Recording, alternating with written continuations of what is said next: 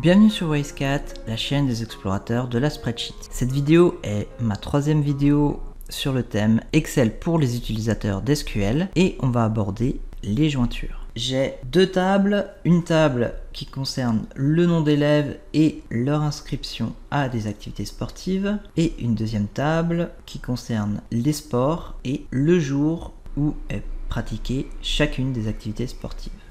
Première mission, on va réaliser ce qu'on appelle une jointure interne, c'est-à-dire créer un tableau avec les inscrits à chaque sport et les jours d'entraînement. C'est-à-dire, on veut tous les élèves qui sont inscrits donc à une activité sportive et on veut une nouvelle colonne avec pour chaque activité sportive le jour de pratique. Par contre, on ne veut pas les élèves qui ne sont pas inscrit à une activité sportive. Je vous propose qu'on fasse ça avec Excel ou plutôt avec Power Query dans Excel et ensuite on fera la même chose avec SQL.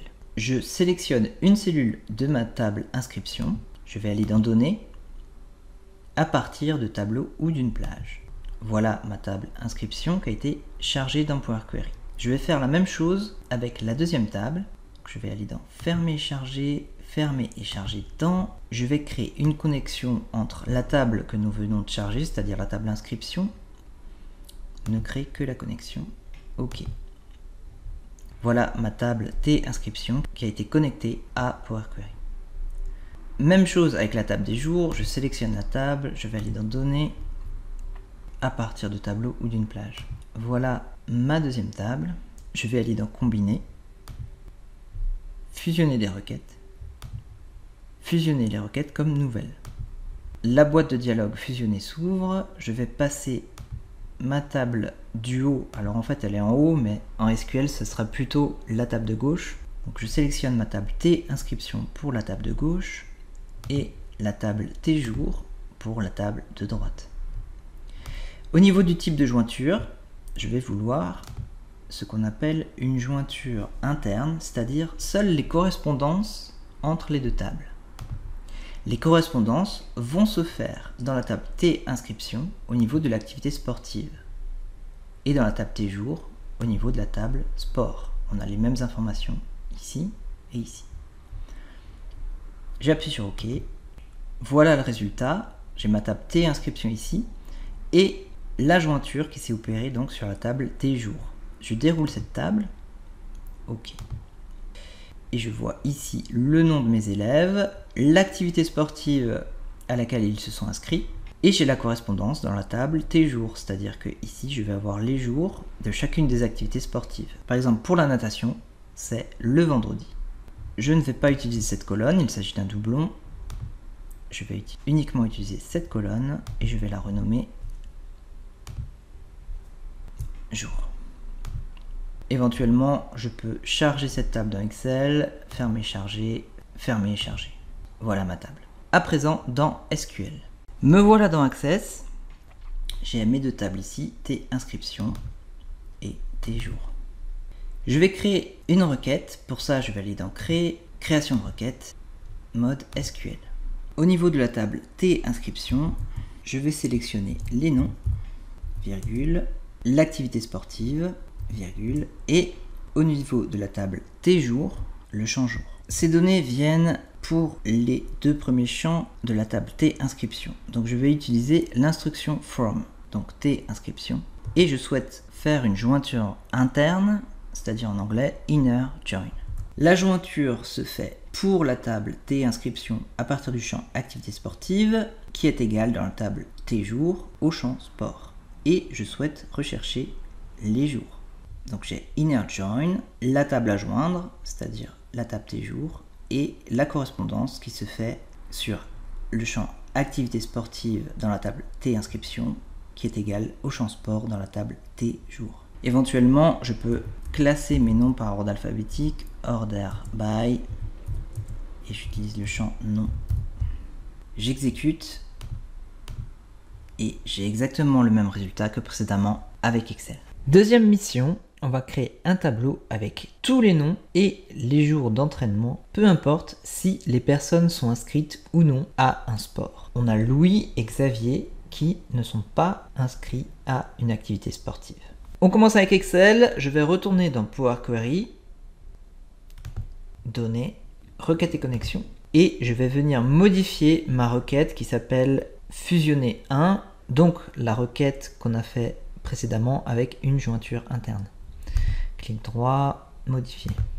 Au niveau des étapes appliquées, je vais double-cliquer sur la clé à molette de la source. La boîte de dialogue fusionnée apparaît à l'écran. Je vais simplement venir changer le type de jointure. Je ne souhaite pas une jointure interne, je souhaite une jointure externe gauche. Donc toutes les lignes de la table T inscription et les correspondances pour la table T jour. La correspondance se fait sur l'activité sportive pour la table inscription et sur le champ sport au niveau de la table T jour.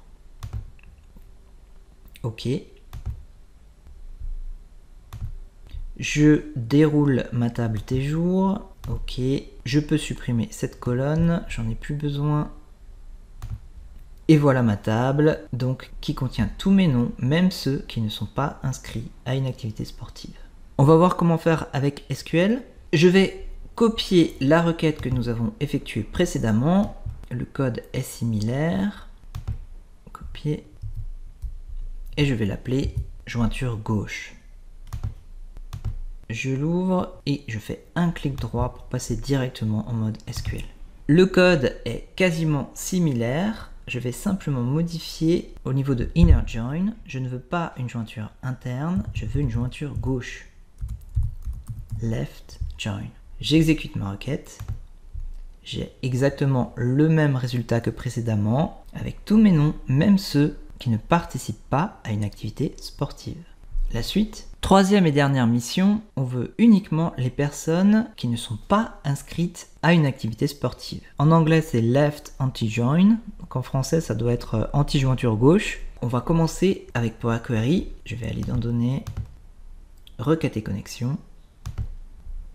Et je vais venir modifier la requête que nous avons réalisée précédemment. Je vais double-cliquer sur la clé à molette la boîte de dialogue fusionnée apparaît à l'écran et au niveau du type de jointure, je ne veux pas une jointure externe gauche, je souhaite une jointure gauche opposée. Alors peut-être qu'en français on peut dire gauche opposée. Power Query est assez trompeur, il marque seules les lignes en première position. En fait, c'est seules les lignes en première position, donc dans la table T inscription, qui n'ont pas de correspondance dans la table T jour. Ok, je déroule ma table, et donc voilà les deux personnes qui ne sont pas inscrites à un sport. On va faire la même chose avec SQL. Je vais copier la jointure que nous avons réalisée précédemment et je vais l'appeler left anti-join. Je l'ouvre et je passe en mode SQL. SQL dans Access n'a pas de fonction anti-join, mais je vais simplement rajouter un filtre where. Le filtre va être basé sur le champ activité sportive et je cherche uniquement les lignes qui n'ont pas de valeur, c'est-à-dire is null. J'exécute ma requête et j'ai uniquement les deux personnes qui ne sont pas inscrites à une activité sportive. C'est tout pour cette vidéo. Si vous avez des suggestions de vidéos, que ce soit sur Excel, Google Sheet ou Power BI, laissez-moi un commentaire et d'ici là, n'oubliez pas que je suis Spreadsheetman.